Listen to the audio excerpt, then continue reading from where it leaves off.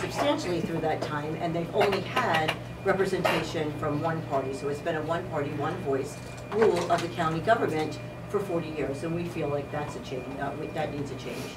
We also are extremely, and you'll know when you go through, through our resumes, extremely qualified, extremely energetic, and we have our finger on the pulse of what's going on in Morris County from all levels.